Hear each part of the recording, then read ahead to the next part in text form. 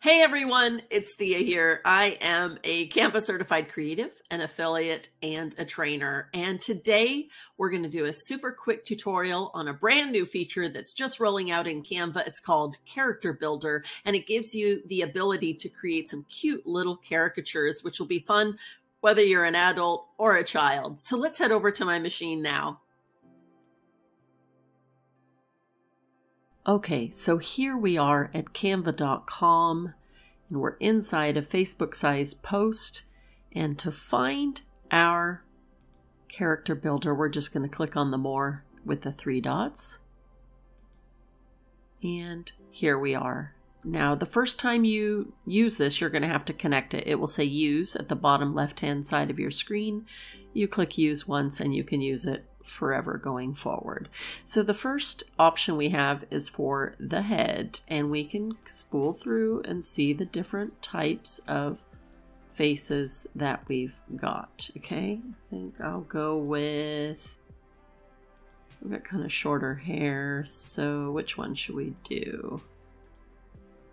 Hmm, that's kind of me, I guess. Yeah, definitely not that. I haven't got an afro. We'll go with this one. Okay, so once we've chosen that, we go back. Then we can choose our face. We have a bunch of different facial expressions. Shock, sad, angry, blushy. I don't know what that one is. And smiley. Let's go with smiley. We go back, and then we can change the body types, right? So we've got skirts, we've got shorts, we've got dresses, we've got different seated positions, running positions. You can go through them all. See some couple of wheelchair ones, somebody walking with a cane, right? And different size bodies as well. So yeah, what do we go with? Hip hip hooray, that's quite fun. And I like this one as well. So we'll go with this one. We choose back and then we can choose our skin tone type. We can just use one of the options that they have here, peachy, brown, all the way up. I'm quite pale, so I'll go with the most pale. And our hair color. And unfortunately, they don't have brownie gray, but I'll go with, well, charcoal. I'm not quite that dark, so we're going to go, I'm going to click into it, and I'm going to click into it again. And we're going to go with kind of a lightish, grayish. I want it more brown. There we go. We'll go with that. And then once we're done with our character, all we have to do is hit done and we're done.